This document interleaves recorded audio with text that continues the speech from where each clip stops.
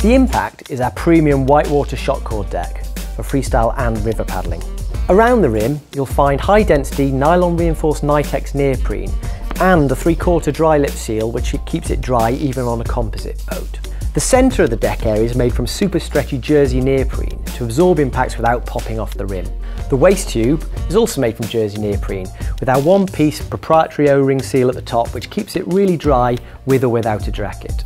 The deck is held in place with a double sewn shock cord and you'll find a sticky grip seal coating on the underside to help you grip your cockpit and keep water out from inside the boat.